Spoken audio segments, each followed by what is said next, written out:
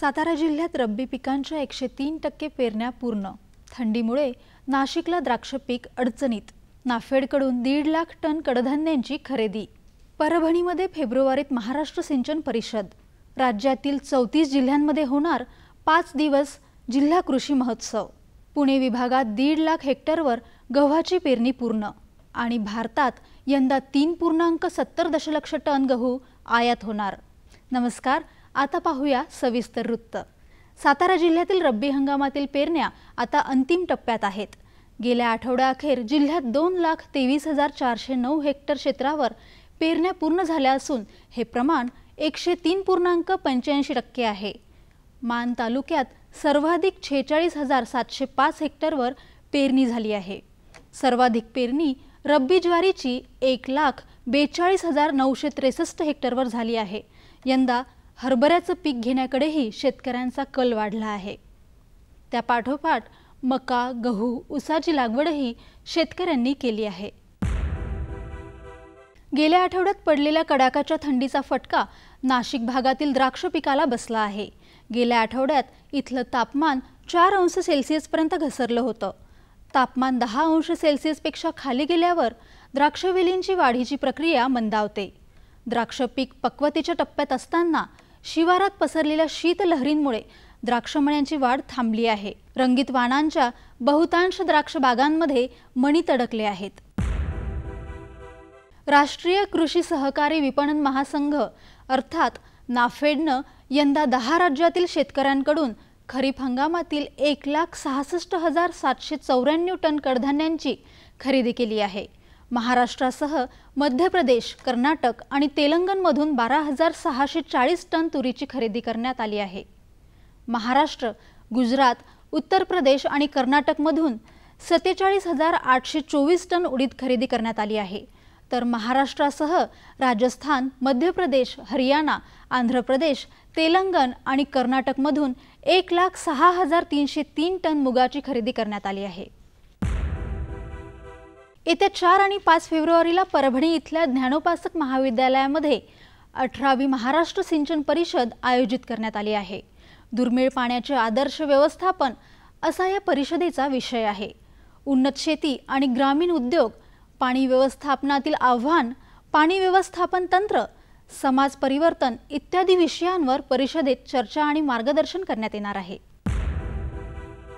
शेतकऱ्यांना उत्पादन वाढीसाठी प्रोत्साहन म्हणून राज्यातील चौतीस जिल्ह्यांमध्ये यंदापासून पाच दिवस जिल्हा कृषी महोत्सव आयोजित करण्यात येणार आहे. त्यासाठी सहा कोटी ऐंशी लाख रुपये निधी मंजूर करण्यात आला आहे. यापूर्वी काही जिल्ह्यांमध्ये दोन ते तीन दिवस धान्य आणि फळ महोत्सव घेण्यात येत असे. त्याचे स्वरूप बदलून आता हा कृषी महोत्सव होणार आहे. यासाठी जिल्हाधिकाऱ्यांच्या अध्यक्षतेखाली समिती नेमण्यात आली असून महोत्सवात सरकारी यंत्रणा कृषी निविष्ठा कृषी तंत्रज्ञान सिंचनविषयक गृहोपयोगी धान्यविषयक आणि खाद्यपदार्थांचे असे साधारण दोनशे स्टॉल्स असणार आहेत. पुणे विभागात यंदा रब्बी हंगामातील पेरण्या पूर्ण होत आल्या असून एक लाख बासष्ट हजार हेक्टर क्षेत्रावर गव्हाच्या पेरण्या झाल्या आहेत.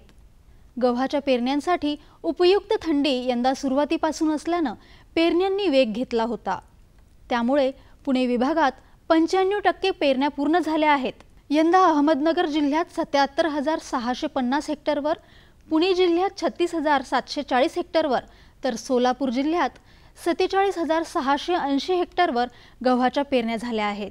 काही ठिकाणी गहू उंब्या धरण्याच्या अवस्थेत आहेत तर काही ठिकाणी बाडी धरण्याच्या अवस्थेत आहेत.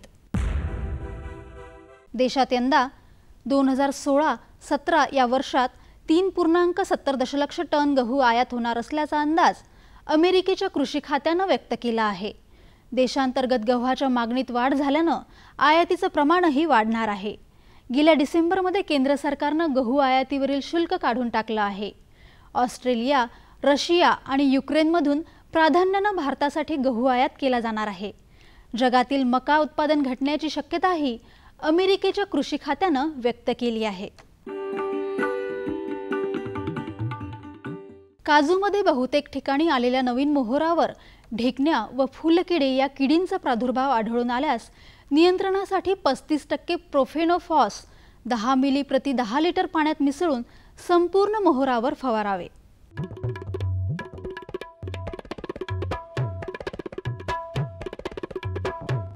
आता बघूया सोलापूर कृषी उत्पन्न बाजार समितीचे काही बाजारभाव प्रति क्विंटलचे. केळी कमाल एक हजार किमान पाचशे रुपये चिकू कमाल एक हजार आठशे किमान आठशे रुपये. डाळिंब कमाल नऊ हजार किमान पाचशे रुपये. बोर कमाल एक हजार पाचशे किमान चारशे रुपये.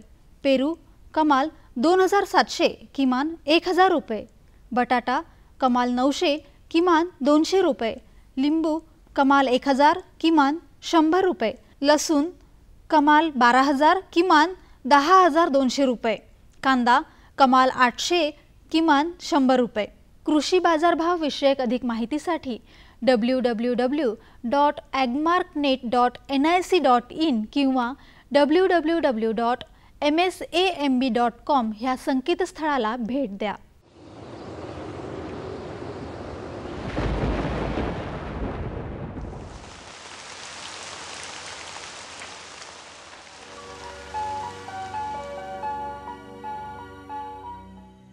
राज्यात हवामान मुख्यतः कोरडे राहील. राज्यातील काही प्रमुख शहरांचे तापमान अंश सेल्सिअसमध्ये पुढील प्रमाणे राहण्याची शक्यता आहे. मुंबई कमाल एकतीस किमान सोळा अंश सेल्सिअस पुणे कमाल एकतीस किमान पंधरा अंश सेल्सिअस नागपूर कमाल तीस किमान तेरा अंश सेल्सिअस नाशिक कमाल एकोणतीस किमान अकरा अंश सेल्सिअस. औरंगाबाद कमाल एकोणतीस किमान सोळा अंश सेल्सिअस कोल्हापूर कमाल तीस किमान सतरा अंश सेल्सिअस सांगली कमाल एकतीस किमान पंधरा अंश सेल्सिअस सातारा कमाल तीस किमान सोळा अंश सेल्सिअस आणि सोलापूर कमाल एकतीस किमान चौदा अंश सेल्सिअस. हवामानविषयक अधिक माहितीसाठी भारतीय हवामान विभागाच्या W W W dot I M D dot G O V dot in ह्या संकेतस्थळाला भेट द्या. या होत्या आजच्या कृषी वार्ता पुन्हा भेटूया पुढील भागात. तोपर्यंत नमस्कार.